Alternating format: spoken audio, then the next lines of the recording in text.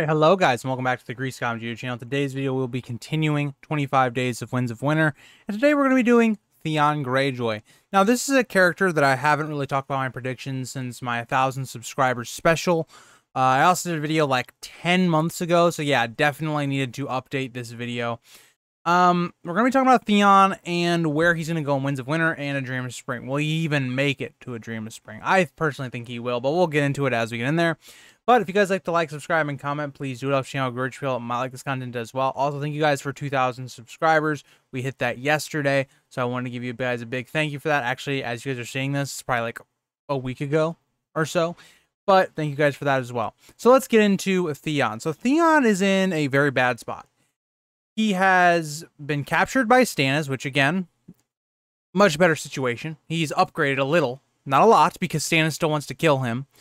But at this point, Theon probably just wants death. I mean, you look at the sorry state of Theon at this point where we think he had it bad in the show. Like, just show only viewers think Theon had it bad. Theon is unrecognizable in the book.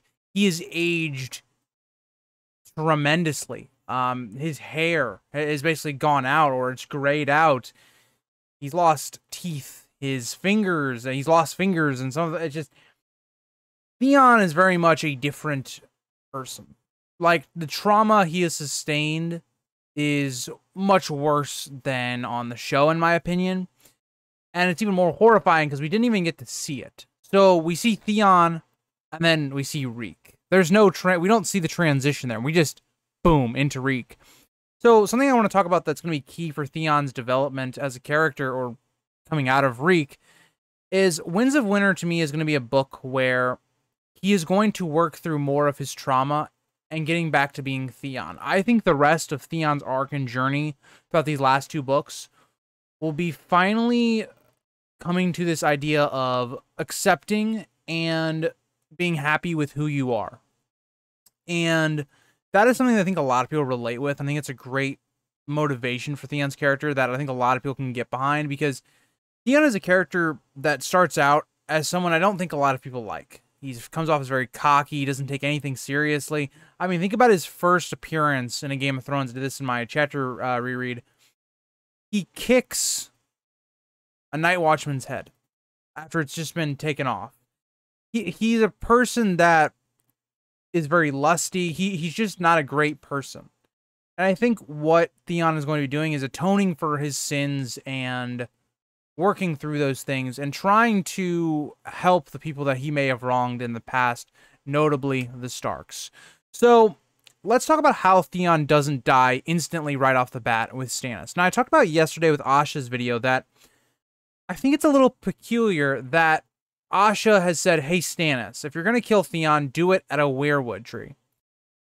Well, this doesn't really make any sense from Asha's point of view. Why would she want Theon to be killed there. And again, we come to this idea that the Northmen believe, right? They believe that someone cannot lie under one of these trees. So if Theon starts saying that he'd never killed Bran Rickon, and that maybe Wyman Manderly, who I think the Manderlys are going to flip sides, are here to witness this trial, maybe Theon actually survives. And I think he does survive. I think he has much more to add to the story, and I don't think this is the way that he will go out. Regardless of that being said, I think Theon stays a prisoner of Stannis. Because let's think about it, right? Yes, Theon did, or I should say, did not kill Bran Rickon, but he still does kill two innocent people. He still betrays the Starks. He still has a very red ledger. He's caused a lot of pain and sufferings for a lot of people. Um, and something I think that Stannis will recognize is that again, there's this idea that is is perfectly crafted that one good action does not wash out a bad action, and a bad does not wash out the good, and that's kind of one of Stannis's main motivations, right? And I think he will see that. So I still don't think the Greyjoys are just gonna get to leave scot free.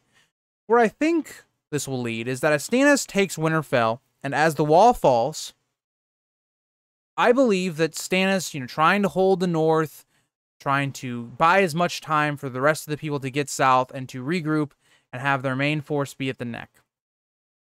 I think Stannis will hold try to hold Winterfell against them and buy as much time.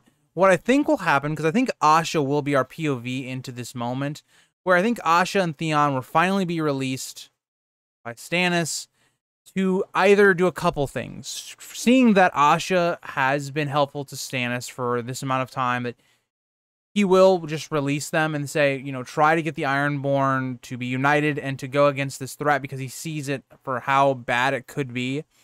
And also things like trying to let them escape and atone for their own sins, trying to be better people than they have been in the past. So I think Theon and Asha together make their way south to the forces of the living. And this is where I think the story takes a turn. I think you can go a couple different ways with Theon's story. I think Asha at this point goes back to the Iron Islands to rally the Iron Islands under her cause. I think she will be in control of the Iron Islands by the end of the story. I believe at this point Euron probably would be will be dead. I think he'll be captured and or killed at Old Town. Victarion I think will probably die to Daenerys, um, just based upon the fact that he wants to marry Daenerys and he also wants the dragons. I just don't see that happening. I don't think that's going to work out for Victarion. So I think Victarion at some point will end up dying there. But I think that leaves Asha to kind of control the Greyjoys. And I think she will or not the Greyjoys, but the controlling the Iron the Ironborn. And I think we'll have a nice arc for her that I talked about in yesterday's yesterday's video. But Theon could either one go with Asha and support her claim, which I could see that happening. That does make a lot of sense because, for one, having a male's backing would be very beneficial to her, especially from someone important like Theon. And also, Theon could tell the the Ironborn what she has been through and how she's seen the dead, and that, she, we all need to unify. So I think this is quite possible that Theon does maybe take a short trip to the Iron Islands, but I could also see the flip side of that. I could see Theon now being in close contact with, again, because Rickon, I believe, will be returned back to Winterfell, and with him and Davos, I think Bran will also come back, where I think Theon will realize that he needs to make up for what he's done wrong and help fight against the others and just stand with the Starks. And I think the way Theon's whole plot ends is I think by the end of the story in A Dream of Spring, maybe not even by the end, because I don't I don't know if this conflict will actually reach to the end. I think there'll be other stuff that follows the others. But I think Theon gives his life fighting the others. I think by the end he has accepted who he is as a person and has finally like sought that validation that he's always wanted that he was a good person and his identity as a person is that he can be and this is something that again i think the story the story in the show did very well with theon's character. Theon is one of the very few characters i think the show understood and built upon correctly. Where theon has this major problem where he feels like he's a stark but his blood is the greyjoys. And that is something that leads him to make his decision early in the war of the five kings that I think will come full circle and he'll start to understand that he can be both. You know, he can su- he can support both sides and bring the two together, uh, more or less. And I think that's a really good parallel for him with what you, with Asha, what she's going to be doing with the Iron Islands, and understanding that when you look at Asha as a character, she was very naive in the way that she sought to bring an alliance with the North. When she's first trying to become queen, after Balon dies, she says, "Oh yeah, let's make an alliance with the North." That was never going to happen. Um, the North hates the Greyjoys, as we see. That's what Asha's journey has been about. Is her starting to understand how the North, how other people think about the Greyjoys. So Theon, I think, will be going through that idea of his own his own identification, along with him trying to get out of the reek and the mental trauma he has gone through. But also, the idea of trying to become a better man and someone that he can live with and not want to die because at this point he's always talking about you know how death would be would be better than what's going on now. And i think he's going to go through that and eventually will find that inner peace within himself before the end. And i think that's how theon goes.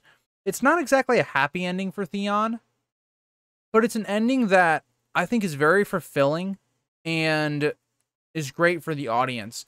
Um, as I talked about with Stannis, Stannis, I don't think will get a happy ending in this this story either, but I think he'll get a very fulfilling ending for people that are Stannis fans. I think there's a cult following of Stannis. I'm part of it.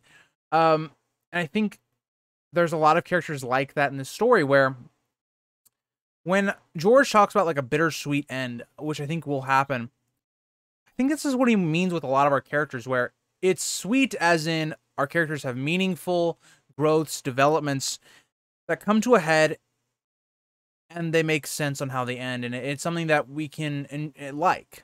Maybe not like that they die, but we can like for the characters of what they built to and where they came from and how they end. Now, the bitter part will be okay, well, these characters will be either dying or they'll have a tragic end. That's how I've always interpreted that. I, I also think you look at the Bran thing where, oh, Bran Stark being the king, that's a cool idea. Um, it makes sense on the face value of it, but then bitter is in the old gods have kind of penetrated Bran. Is this the same character? That's kind of how I've always looked at it. But let me know what you guys thought about this video. I really enjoyed talking about Theon and Asha. Again, I think they have two of the more compelling story arcs in the entire series.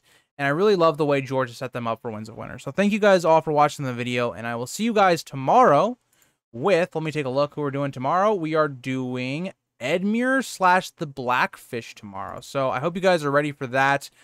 We haven't talked about them in a while, so we're going to be talking about probably the prologue a lot and also the Riverlands a lot more in tomorrow's video. So thank you guys all for watching. I'll see you guys in the next video. Bye, guys.